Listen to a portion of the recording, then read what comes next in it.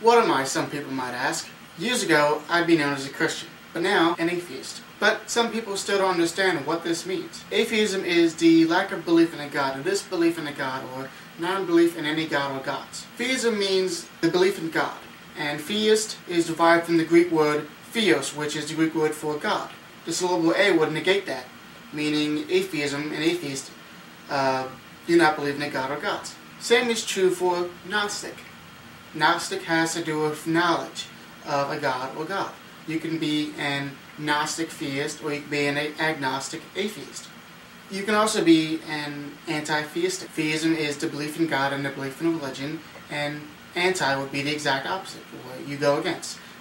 I'm an anti-theistic atheist. I believe that religion is harmful to society, to human culture, and so is the belief in God. I am also anti-faith. Faith is gullibility, the denial of critical thinking and a denial of reality and observation. Faith is believing without evidence. I have no faith. I have reasonable expectations due to the evidence provided throughout my lifetime and through the lives surrounded around me. I am anti-faith.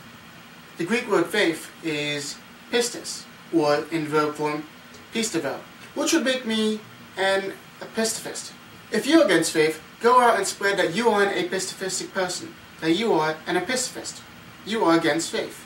So, to answer the question from the beginning, what am I or what am I now? I'm an anti-theistic, agnostic, apistevistic atheist, or quad A.